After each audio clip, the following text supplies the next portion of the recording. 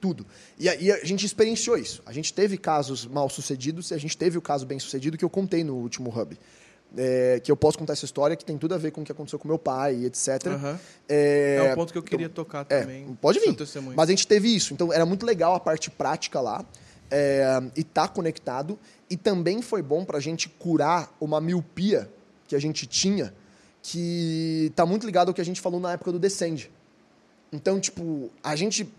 Faz três anos agora o Descend, né? Que a gente tá gravando. Foi semana passada que completou três anos. Aham. Ah, é verdade. Foi dia 8 de fevereiro. É, e quando a gente estava no Descend, falar chegou nossa hora Brasil é legal.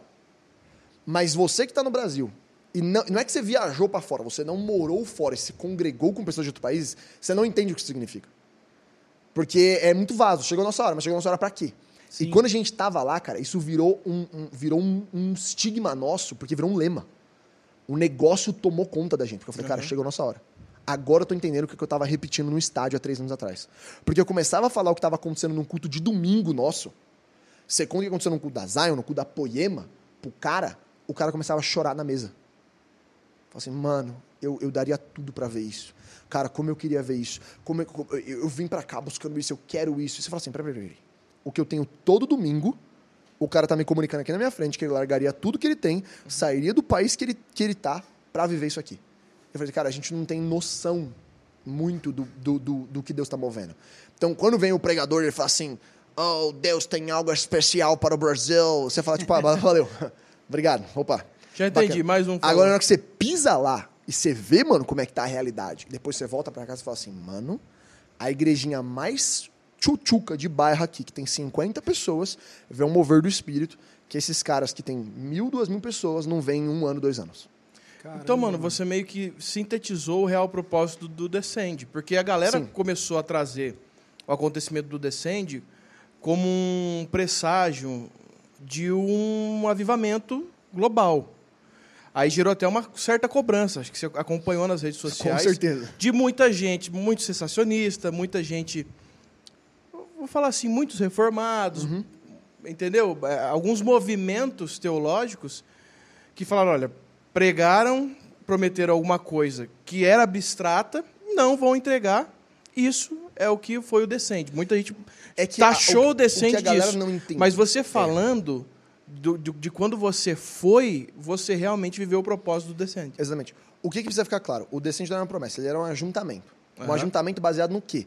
Na percepção do que estava acontecendo.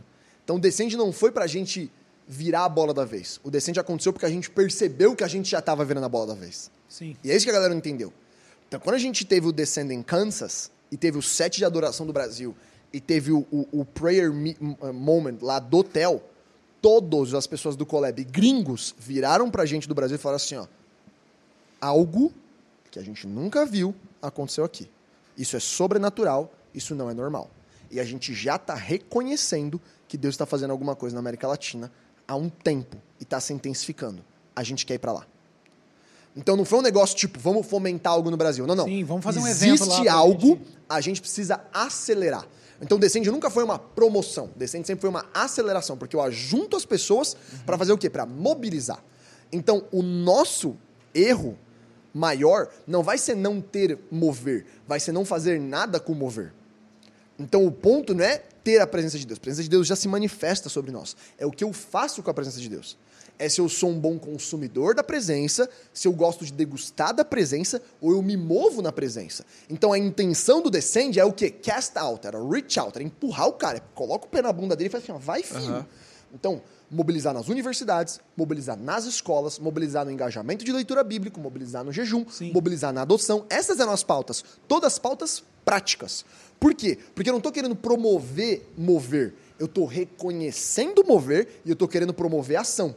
Então, e, e, obviamente, é muito difícil você ter uma clareza tão grande, um bagulho que é três estádios, Sim. que é três milhões de pessoas, porque cada um fala o que quer.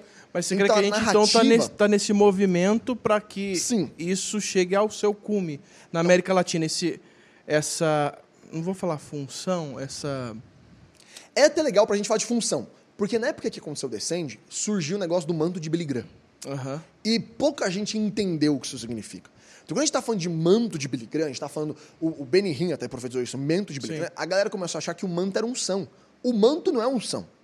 Eliseu, quando ele pega a capa de Elias, ele não pega a unção, ele pega o ofício, a responsabilidade. Só que Deus responde responsabilidade com unção.